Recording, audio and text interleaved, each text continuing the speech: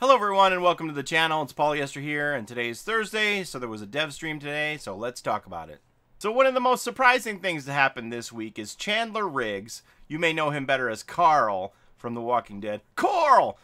He tweeted out to Dead by Daylight with this tweet, uh, at Dead by Behavior, bros, the emblem system is horrible please for the love of God revert it, which uh, got everybody up in arms like, oh my gosh, this is arguably the biggest celebrity that we know of who plays Dead by Daylight, and he had a comment about it, so it was uh, pretty interesting. It came out with some funny memes, as you can see here, and uh, no word on if he plays on um, console or PC or what his username would be, but I'm going with um, Pudding Boy 123. So that was kind of funny. Um, and that leads me into the next segment, which is about the Emblem System Survey. So they have this Emblem System Survey live right now. And as always, I always encourage you to participate in these surveys, to have your voice heard so that you can help shape the direction of the game. Um, they admitted that they overreacted too quickly when Freddy came out to nerf him. So they don't want to change anything drastically. There are tweaks and adjustments in the works for this system, but they don't want to do anything with knee jerk reaction. They just want to gather data and make changes a little bit further down the road. So they need this input from us. They are going to change things. They realize that there are some emblems that are more difficult to obtain than others, such as um, Chaser for Killer or Benevolent for Survivor, and they're going to make adjustments along the way. I know that change is hard, and there are a lot of people who find this emblem system to be very frustrating and controversial. Um, again, I'm going to link the Reddit post that shows you a graphic for just how you score in every category for your own information in case you want to figure out, you know, where you need to shore up your game to do the things that the entity is requiring of you to gain these emblems.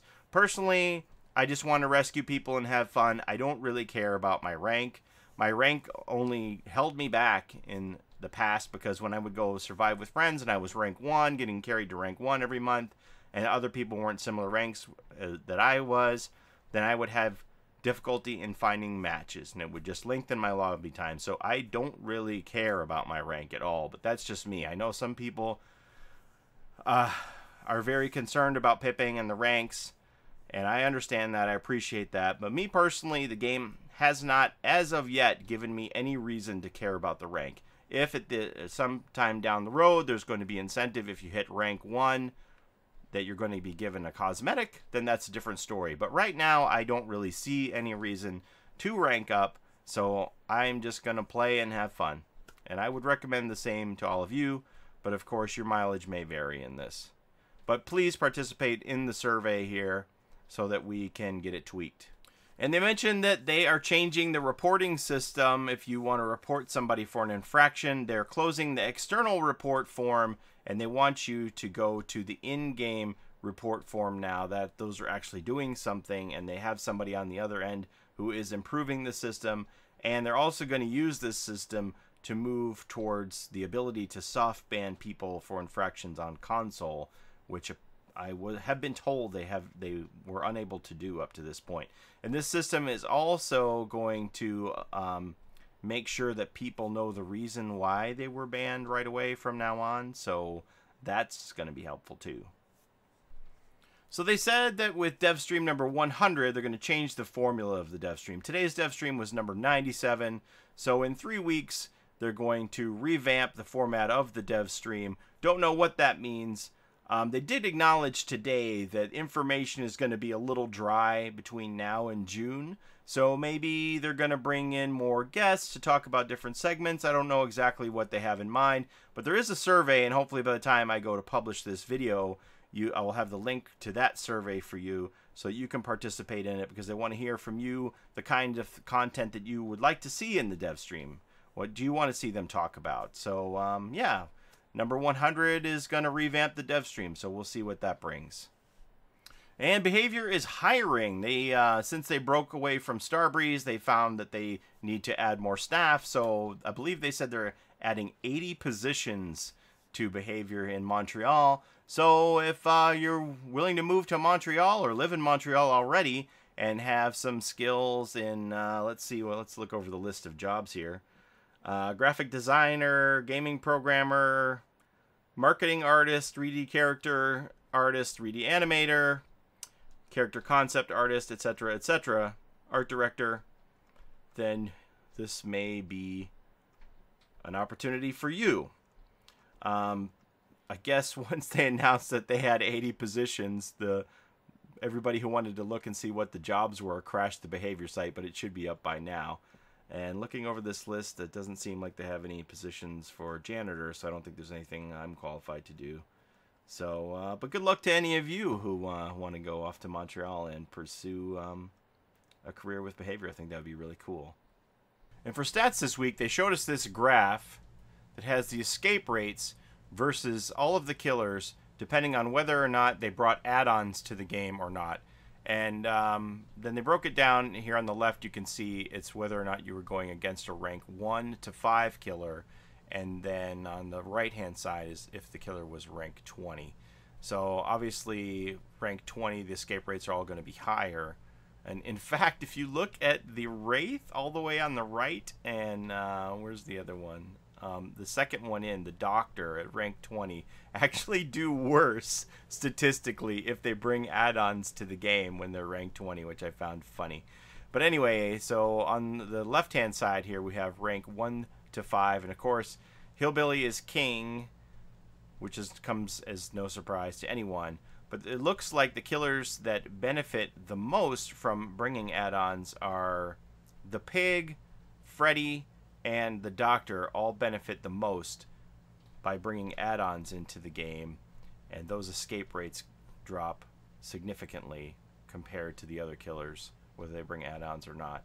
Like uh, Hillbilly looks like he's right around a 30% escape rate. You have a 30% chance of escaping from a rank 1 to 5 hillbilly. He's the strongest in the game. That's all there is to it. But Pig's not too far behind when she brings her add-ons, and uh, Doctor too. They're they're pretty tough there if they have some decent add-ons. So consider bringing add-ons when you're going into those games as killer. Unless you're rank 20, then apparently they're only going to hurt you if you're the Doctor or the Wraith. I don't understand those statistics, but and this is something that's so interesting, and they always comment on this about how at rank 20, you have such a high chance of escaping. Like it's it's 65% escape rate against a rank 20 nurse just because the blink mastery takes some technique. But then when you see when you get down to rank 1 to 5 where people have perfected their blinking, she's right in there with everybody else. But she gets exposed at rank 20 just because the blinking takes some feel to figure out how to do it. Anyway, that was a pretty interesting graphic, I thought. So I hope you enjoyed it. So they updated on Steam the inventory icons uh, for your game, so they actually have icons for all the items that are in your inventory. As you can see here, this is mine, and it has all of my uh, my packs and TwitchCon exclusives and things like that in here. Red shirts for Left 4 Dead, and um, look at this one from my friend Nero he bought the Weekend Claudette, um, I don't know, maybe a month or two ago. And in his inventory, it actually has these pants for Claudette that he never got. So I don't know if that means that that was scrapped, but he got the inventory icon for it anyway, or if it's something that's going to be updated in the future. But apparently, this Brazil Weekend green top for Claudette was supposed to come with this matching shorts and shoes. And it's kind of disappointing now to see the icon that she didn't get it. So I don't know what's happening with that.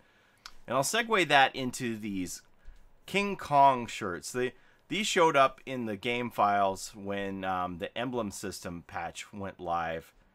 And everybody said, What are these King Kong shirts? And I was racking my brain trying to think, they can't just make King Kong. That's a licensed character. Does that have something to do with the new chapter? What is this King Kong? And so today they revealed that these King Kong shirts are for an Asian streaming broadcasting service similar to Twitch. And um, those are for people who are high profile in Asia who use this King Kong streaming service and play Dead by Daylight on a case by case basis. They can apply for and be given these King Kong shirts if they broadcast on that platform. So that's what those are for. They don't have anything to do with the next chapter. And then, um, similar to these Twitch shirts here that you, you see that they have.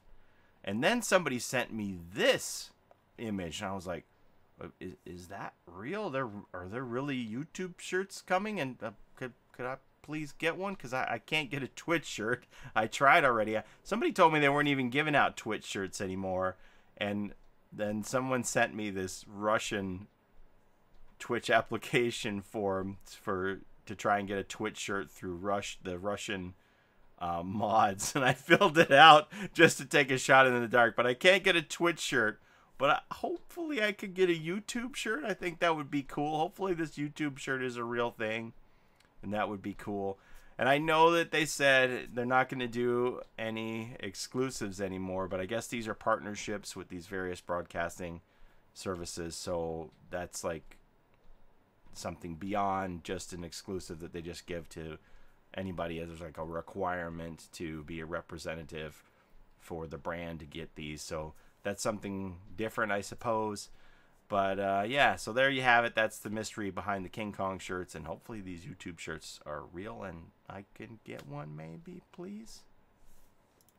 So, and while we're talking about cosmetics, so we know in June that's when the new chapter is going to come out with the new killer, the new map, and the new survivor, and they're also going to launch the cosmetic store, which is going to have all the new cosmetics for killers and survivors, and maybe some old cosmetics. They talked about it today and said that some of the things that are um, licensed to like certain individuals or certain events, like the Taipei gaming event for the the Ace hat, those won't be offered in the cosmetic shop. And uh, some of the streamers who have exclusives that chose not to put their exclusives in the charity case, those were not are not going to be available in the cosmetic shop.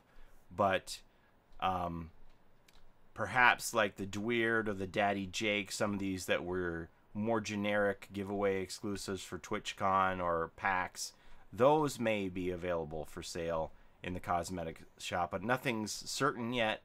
But more is better, so I'd always say that whatever they can put in the cosmetic shop will be welcomed by everyone. And again, the cosmetic store is for everybody on console too. Once this cosmetic store goes live, you will be able to buy whatever skins that PC can purchase, you should be able to get those on console as well. So, Cosmetic Shop is for everybody. And they were asked what they're doing to alleviate killer frustrations, and they said that they're actually working on stuff internally, testing things regarding pallet loops, uh, pallet vacuums, hex totem spawn locations, and even addressing some of the more meta perks such as decisive strike. So, killers there's hope on the horizon. They're testing some stuff here. They they realize that they will have to probably downgrade Bloodlust if they do make some of these changes. But they said they are looking at reworking the way that certain jungle gyms spawn so that they can't be so easily looped. And um, they do want to try and even this thing out. So we'll see where it goes. Um, testing testing sounds good. Testing sounds like they're actually working on stuff and it isn't just theory. They have changes that they're looking to see if they actually work and are viable. So hopes on the horizon, along with the the closing of the hatch. There's you know there's going to be things there for killers. So keep hope alive. And they said that the next community event is also going to take place in June. So June's going to be a big month for Dead by Daylight. The game anniversary, the, community event, new chapter, cosmetic shop. It's going to be a big one. It's going to be exciting. It's probably going to be dry for information from now until then. And um, I am actually not going to be here to give you any info for the next two dev streams, number 98 and 99. I should be back on the scene for number 100, but I'm going to be out of the loop for the next two dev streams. Um, they admitted that they'll probably be dry, so maybe you guys won't miss much in the next two weeks, or maybe I won't miss much. I don't know. But uh, hopefully you guys can keep me in the loop for a change. Hit me up on Twitter if there's some really cool images or sneaks of stuff coming up.